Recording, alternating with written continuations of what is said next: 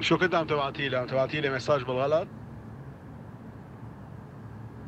لا ماما غيرت شكلي ما بدي خوفك ولع البور وراي النار طالعة وعم بفقع أشغال هلا إجت الأطفائية كله نار أسود طالع وراي.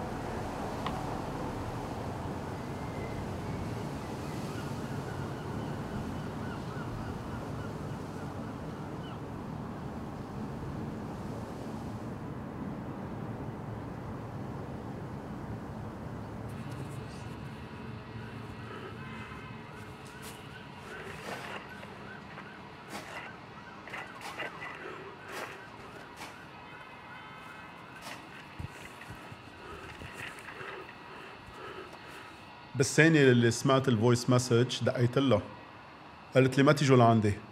يمكن يطلع انفجار. أنا رح أتخبى بالكوريدور. وانقطع الإرسال. بعتقد بهالثواني طارت شي سبع أمتار من هونيك وشبقت بالباب بالحيط وبتخيل هيدا الباب للي هون لأنه كان لونه موف.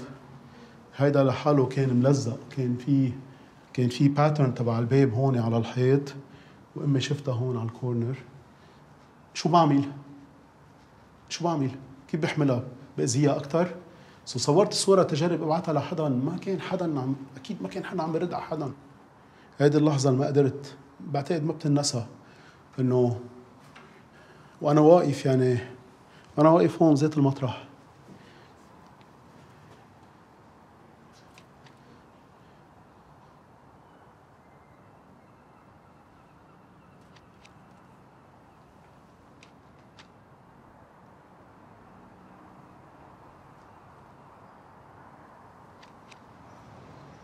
كنت دائما نقول إنه إن شاء الله ما تطلع بناية لأنه عندنا بيتنا آه، مطل على البحر مطل على على البور ما كنت مفكر إنه مطل على على إنبلي صار لها عمرها تسع سنين أو سبع سنين.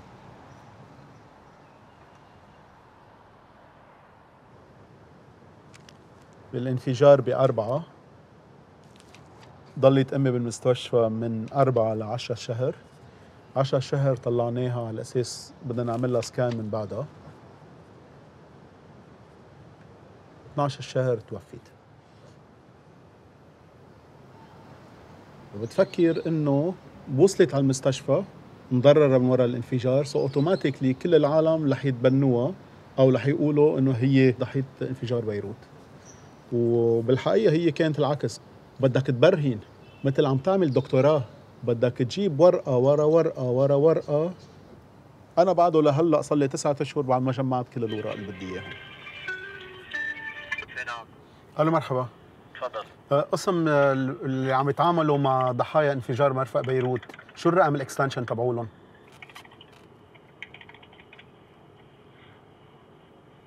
راح أعطيك رقم حد ونسالهم إذا عندهم الموضوع أو لا. أوكي.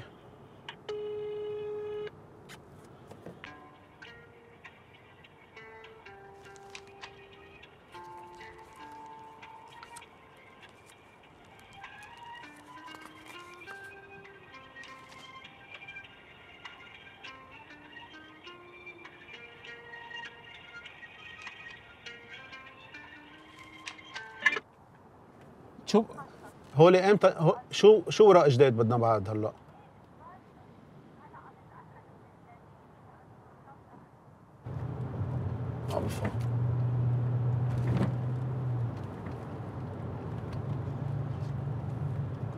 مثل كانه عم بيقولوا لك يا أخي بدنا نساعدك بس ما بدنا نساعدك.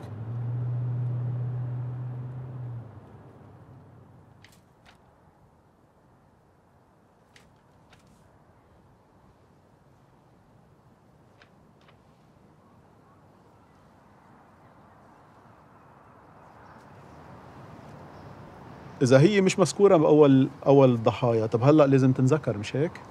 مثل كل الضحايا اللي توفوا من بعد شهر شهرين ثلاثة أو سبعة. بس ما في يشتغل إيه. تعال بدنا نشر كروت. زوزو حبيبي خلص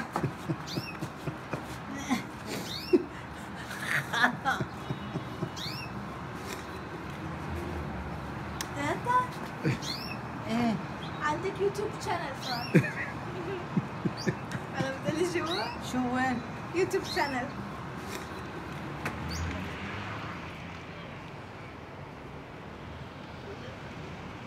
ليش بدي أحط اسم امي بين الضحايا؟ يمكن بس حتى خليها لحتى ما تنسى يمكن؟ لأنه من من الأشخاص اللي كانوا بالمدينة كانوا عايشين ببيتهم وإجا انفجار ودمرهم. أخذهم منها.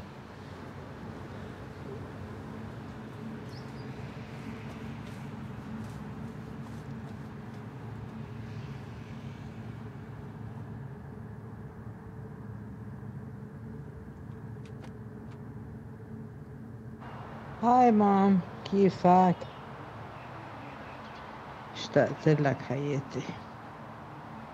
بس تضحكيني يلا bonne journée à bientôt bye.